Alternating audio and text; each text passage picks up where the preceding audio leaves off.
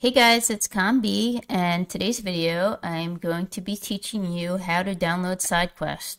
What is SideQuest? SideQuest is a way to get games that haven't yet already been fully released to the Oculus store, and it's a way to get a lot of free games and also some new paid games as well as some other customized items and original games that have been fitted to a VR customization mode. So let's get started and I will teach you how to set it up.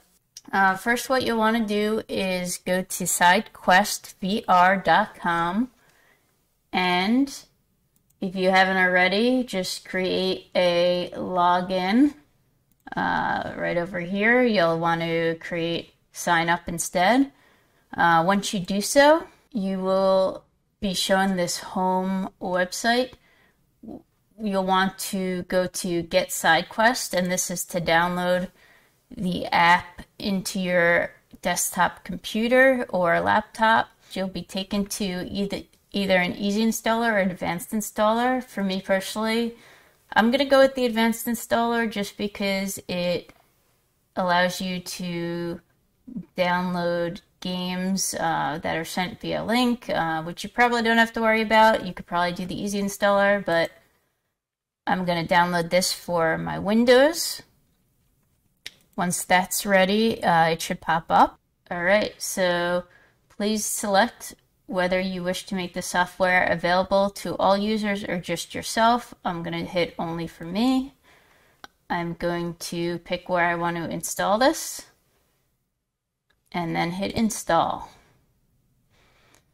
All right, so now it's going to install. Let's hit finish. Okay, so once you downloaded SideQuest, you'll want to open it up and hit open setup instructions. So it's going to list out three key steps in order to get your SideQuest. Uh, the first step is to create an organization.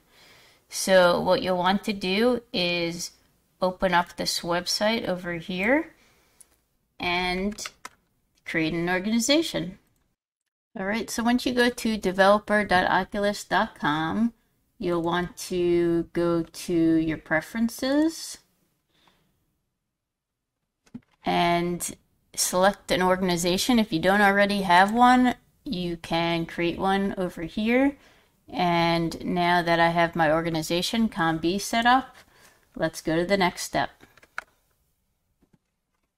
Step number two is developer mode.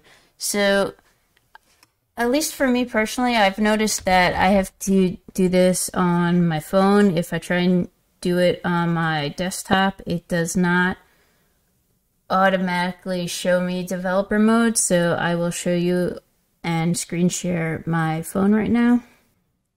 Now that I am connected, I want to make sure in my uh, settings that I go to developer mode and make sure that that is clicked on. So that is step number two. And the third step is connecting. All right, so what we'll want to do is, again, make sure that USB cable is connected and you'll want to click allow on your headset. Alright guys, so now that we have allowed our headset to have access to the computer, we're going to go hit on SideQuest install your VR headset. All right, now that it says we are installed, we're going to go hit on our app library and make sure you go down to unknown sources.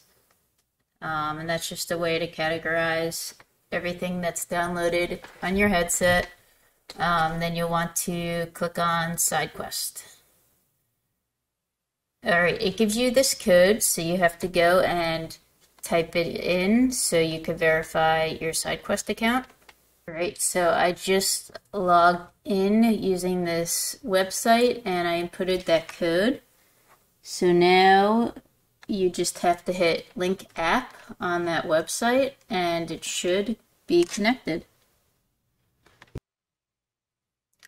Alright, so now we have access to all of the SideQuest games and apps. You will have to stay connected on the link when you download any of these items, but once you have them downloaded, you do not have to be linked up to your computer.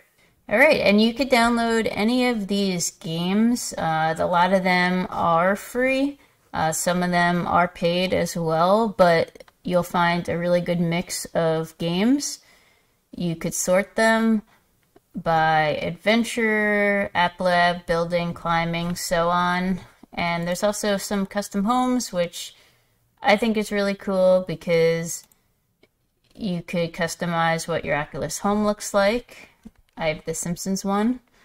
Uh, but yeah, go test it out, try out some new games. Most of them are free, and the ones that are paid usually aren't as expensive as the ones on the Quest 2 menu. So, yeah, that's all I have for today. Hope this helped you out, and I will see you guys next time.